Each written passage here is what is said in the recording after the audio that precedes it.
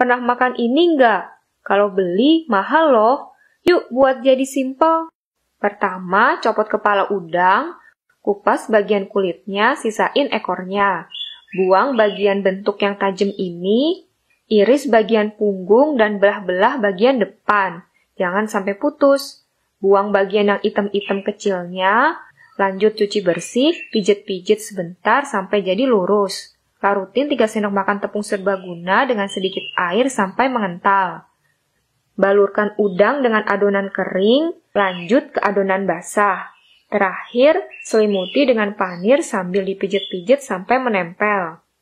Goreng udang dengan api sedang sampai berubah warna jadi kecoklatan. Mau praktis dan simple bisa juga goreng pakai mito air fryer. Tinggal pencet-pencet, jadi mateng deh makan bareng nasi pulen ala Jepang dan saladnya, hmm, enak